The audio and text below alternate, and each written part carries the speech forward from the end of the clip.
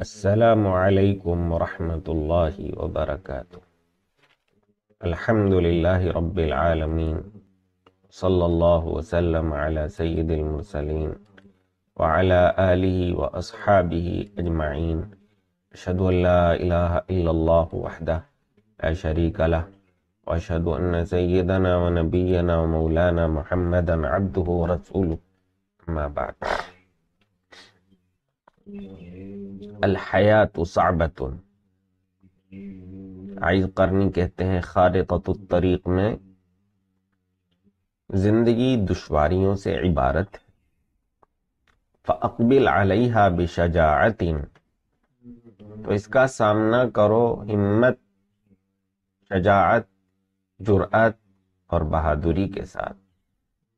اللہ تعالیٰ نے خود قرآن میں فرمایا ہے لقد خلقنا الانسان فی کبد یقیناً ہم نے انسان کو مشقت کے اندر پیدا کیا ہے،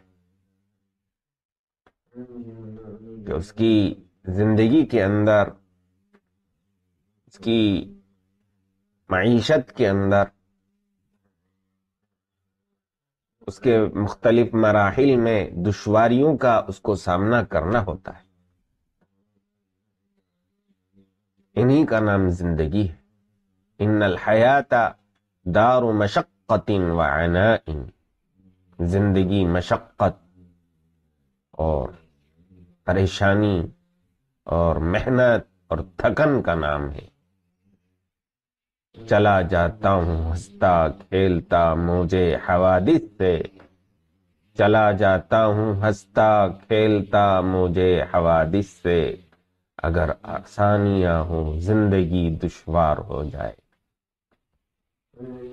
یہ بھی شاعر بہت کمال کا ہے۔ کہہ رہا ہے، پریشانی آسانی ہے۔ اگر آسانیاں ہو تو زندگی دشوار ہو جائے۔ پریشانیوں سے کھیلنا اور پریشانیوں کو جھیلنا، اسی کا نام تو زندگی ہے۔ وَلَنْ يَحْصُلَ أَحَدٌ عَلَى مَطْلُوبِهِ مِنْهَا إِلَّا بِجُهْدٍ وَمَشَقَّةٍ وَكِفَاحٍ. اور کسی کو اس زندگی سے اپنا مطلوب و مقصود حاصل نہیں ہوگا بغیر محنت و مشقت اور جد و جہد کے. فواجہ المصاعب بشجاعت وحزم وحزم. تو دشواریوں کا سامنا کرو، شجاعت کے ساتھ اور عقل کے ساتھ۔ عقل مندی کے ساتھ۔ ولا تظن ان النجاح والمجد سوف يأتيك هدية۔ اور یہ نہ سمجھو کہ محنت اور عزت تمہیں تحفے میں دی جائے گی۔ فَكُلُّ الْعُظَمَاءِ دَفَعُوا ثمن مجدهم من عرقهم وراحتهم ونومهم وصحتهم.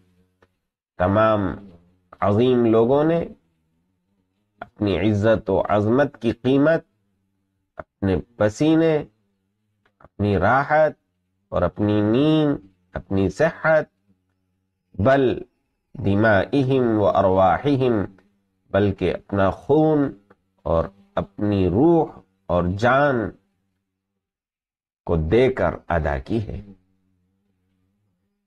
فلا تعجب اذا واجہت کل تو تعجب نہ کرو اگر تمہارے سامنے تھکاوٹیں، پریشانیاں اور مصیبتیں آئیں۔ فہذا هو الاصل یہی اصل ہے۔ فواجہ انت بصبر۔ صبر سے ان کا مقابلہ